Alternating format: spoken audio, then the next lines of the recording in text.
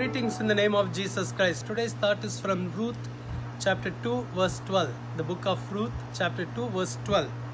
The Lord repay your work, and a full reward be given you by the Lord God of Israel, under whose wings you have come for refuge.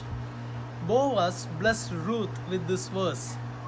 When Boaz was blessing Ruth, he is blessing like this full reward be given you by the Lord God of Israel. Once this Ruth lost everything. She lost her husband and also she left her own place and own family and she came with her mother in law to the new land called the land of Israel. She came with only one hope that putting trust in the Lord.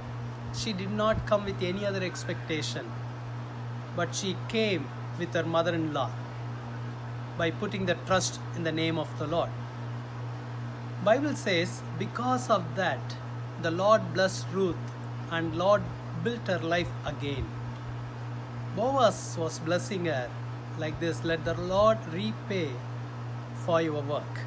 Let the Lord give you full reward because you came under the wings of Almighty God. You are keeping the Lord as your refuge. Because of that, let the Lord bless you. That's, this is the way Boaz blessed Ruth. According to his blessing, the Lord blessed Ruth and the Lord gave full reward to Ruth. The Lord rebuilt the life of Ruth. Maybe today you are also going through many challenges and but you are trusting the Lord. You put your complete trust in the Lord. The Lord will repay your work and the Lord will give you full reward because your trust is in the Lord. The Lord want to, wants to encourage you today that He will rebuild your life. Shall you do out of prayer? Let's pray. The Lord will never put you into shame. The Lord will honor you. The Lord will honor your faith. Let's pray. Jesus, bless your children, Lord. Lord, I pray, give them full reward. Lord Jesus, thank you, Lord. Bless them. Lord, they have come under your wings. They have they are keeping you as the refuge.